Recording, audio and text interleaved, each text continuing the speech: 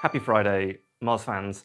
Today I want to talk about AI overviews and specifically who should care about AI overviews. What kind of searches are they affecting? How much? Who's appearing in them? That kind of thing. So I'm going to give you a whole bunch of, of information, which I'm going to talk you through, and then I'm going to try and contextualize it for you in terms of how, how it should affect your SEO strategy. Now, just before I start, all of this data is from stats. So what I've done is I've tracked about 46,000 uh, keywords in stat. They're the top 500-ish uh, keywords from various different verticals in Google Keyword Planner, or whatever that's called now.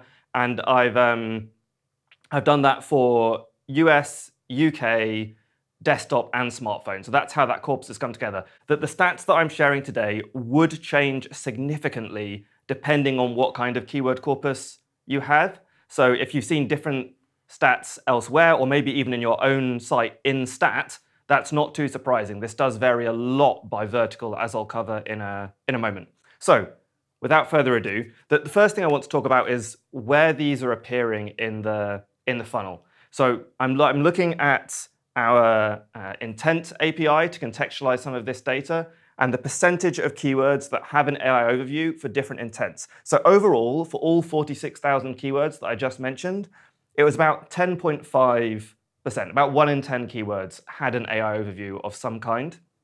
However, the vast majority of those were for informational, so top of funnel intent sort of research keywords, far, far more than anywhere else. So that's sort of a similar role to what we might have seen uh, featured snippets performing in the past. And this is quite significant for, for businesses and for how you think about SEO strategy because both, both for Google and for us as SEOs, these kind of keywords were generally less lucrative. Now, I'm not saying that top of funnel isn't important, because it is, but a lot of it can be about the impression. So you weren't necessarily always aiming for the click there. Certainly you weren't necessarily aiming for a click that went on to convert in the same session. So this is sort of important to bear in mind in terms of how you think about SEO fitting into your into your marketing funnel. That a lot of these features, and we've seen it before with knowledge panels, we've seen it before with feature snippets, they are coming in right at the top of, of the marketing funnel. Now, if we go a bit further down, you can see it tapers off pretty quickly. The further you go down the funnel, the lower it gets as we get down to transactional.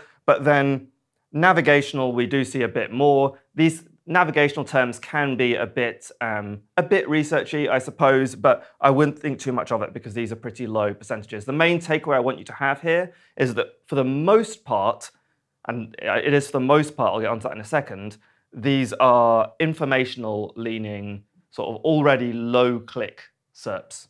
Now, that is also reflected in the kind of features that we see these appearing alongside.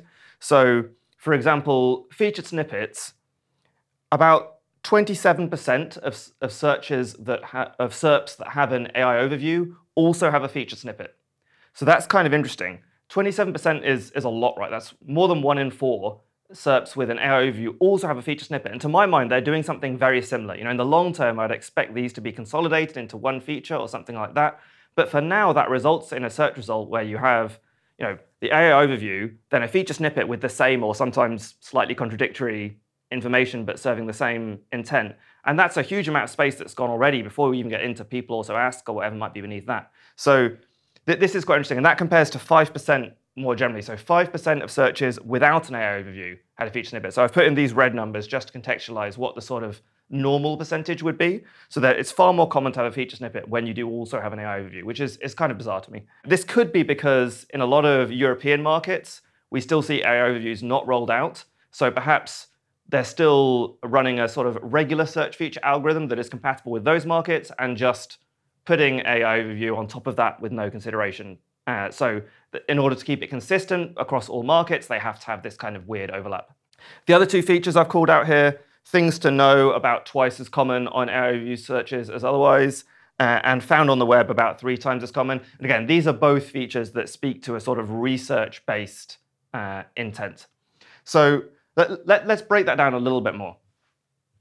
So I, I spoke about having done this for US, UK, desktop, and, and smartphone, and there is a bit of a market difference here. So we see most notably, they're pretty consistent between desktop and mobile, but the US is seeing these far more than the UK at the moment.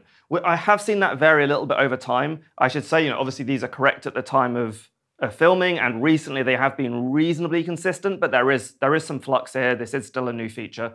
So perhaps the UK will catch up if Google deems this experiment to have been a, a success in, in the US. Uh, the other thing I would, I would call out is, so I spoke about informational being by far the biggest uh, intent group for these. That does vary a little bit by vertical. So even within informational, if we look at informational arts and entertainment keywords, the percentage is much lower. If we look at informational science and nature keywords, it's much higher. If you imagine the kinds of queries that people would be asking, perhaps if I'm searching for you know, quick facts or something like this, it's easier for the AI overview to answer it. So this isn't necessarily super consistent by, by vertical. I think there'll be a link somewhere beneath some more detailed uh, breakdown across all four intents and 21 verticals, so you can, you can see the specifics here. But it, it's not super consistent, although the overall pattern is there. I think there's very few verticals where informational isn't the most common place to see an AI overview still. The last thing I want to talk about is, is who is actually appearing in AI overviews. So at the moment, we see on average about 6.4 links out, so links to third-party websites from AI overviews. We currently consider there to be two types of links in AI overviews. There's, there's the preview links that look almost like a mini search result with a thumbnail, often an image, normally on the top right. And then there's little uh, links, normally with just a chain link symbol in the, in the text, which don't actually link directly out. You sort of click on them and then it opens a preview box and then you have to click through again. So if we were to only count the big ones that look like a regular search result, it's more like three. Three links out per, per search result. And similarly, if we look at these 6.4 links out, you know, all of them, only about 52% of those will also be ranking in the organic top 10 on the same keyword. So that's quite a low overlap with regular organic. That suggests that maybe your regular SEO strategies aren't going to work. But again, if we only look at the preview links, that goes up to more like 80%. So there's a big difference there. If we're, if we're only interested in those preview links, which are the most visually obvious and the, and the most direct click through, you have a sort of a much stronger correlation with regular organic ranking. And that hopefully brings us more towards the situation we're used to with feature snippets, where these days the way to appear in a feature snippet is basically to rank first. The, um, the other thing I want to call out, and it's sort of related to, to these points above, we do typically see a lower domain authority and brand authority uh, for, for the sites that are appearing in the AI overview, just slightly, than, than for sites ranking in, in organic top 10. And that probably goes, you know, the fact that they're not ranking in top 10, you know, Google is digging deeper in the SERP to get some of these sites, so it's not surprising that they perform worse on some of these stats. So what can we take away from this? As, as I say, the, the main thing to think about is if you are losing clicks, and it's by no means to be taken for granted, but if you are losing clicks to AI overviews, what kind of clicks were they? How does that fit into your overall strategy? What kind of channels would you replace them with? Because it's unlikely to be uniform uh, throughout your, your funnel. And obviously, this affects some kinds of businesses much more than others. If you're a publisher, you might be playing almost exclusively in informational searches. And, and if so, that is a challenging place to be. You know, the bar is definitely rising for the complexity of a question where people are expecting to, to click through to another website. It's something I've spoken about before. Uh, similarly, if you're trying to rank in the AI overviews, I would, at this point, I would say it's getting increasingly to the point where you're not doing anything special to, to do that. I mean, it, I'm not saying it's easy, but it aligns increasingly closely with your regular organic. So hopefully that removes some of the complexity for you. I hope that's been useful. I look forward to your feedback and any other thoughts you might have. Thank you very much.